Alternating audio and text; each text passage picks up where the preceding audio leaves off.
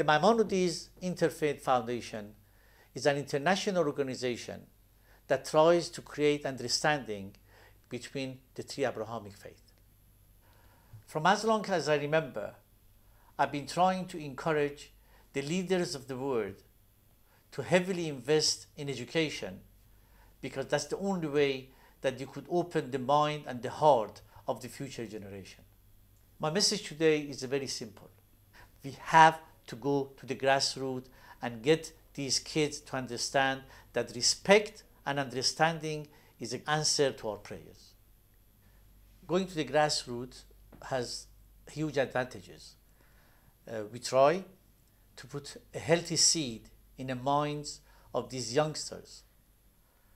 So later on in life, we get a healthy tree. We have to teach them that the three Abrahamic faith have by far more that unites them rather than divides them.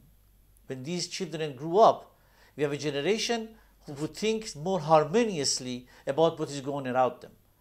This is what we try to do, and this is what we hope we'll achieve.